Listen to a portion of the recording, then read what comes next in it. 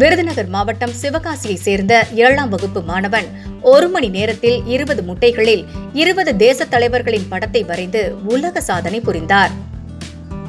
உலக சாதனை படைத்த மாணவனை நிதியமைச்சர் தங்கம் தென்னரசு அவர்கள் நேரில் வரவழைத்து பாராட்டினார். விருதுநகர் மாவட்டம் சிவகாசி அருகே உள்ள அதிவீரன் பட்டிகைச் சேர்ந்தவர்கள் ஐயனார் ஜெயலட்சுமி தம்பதியினர். இவர்களுக்கு ஏழாம் வகுப்பு பயிலும் சரண் சந்திரேஸ் என்ற மகனும் நான்காம் வகுப்பு பயிலும் கவி பாரதி என்ற மகளும் உள்ளனர். சரண் சந்திரே சிவகாசியில் உள்ள தனியார் பள்ளியில் ஏழாம் வகுப்பு பயின்று வரும் நிலையில் உலக சாதனை செய்ய வேண்டும் என்ற தன் விருப்பத்தை தனது பெற்றோர்களிடம் தெரிவித்துள்ளான். மாணவனுக்கு முட்டையில் தேச தலைவர்களின் படத்தை வரைந்து உலக சாதனை படைக்கும் ஆசையை தனது பெற்றோரிடம் தெரிவித்துள்ளான். பள்ளியில் ஓவிய போட்டி நடந்துள்ளது.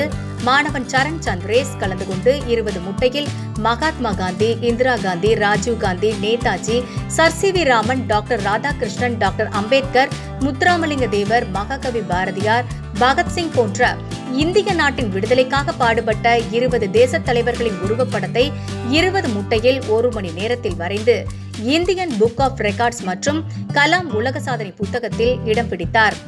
இந்த மாணவனின் திறமையை பாராட்டி நிதித்துறை அமைச்சர் தங்கம் தென்னரசு அவர்கள் தன்னுடைய வீட்டிற்கு அந்த மாணவனை அழைத்து பாராட்டினார். இதற்கு முன்பு ஏழு முட்டையில் ஏழு உலக அதிசயத்தின் படங்களை வரைந்ததே உலக சாதனையாக இருந்தது என்பது குறிப்பிடத்தக்கது.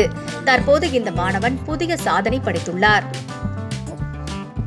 காந்தி நேரு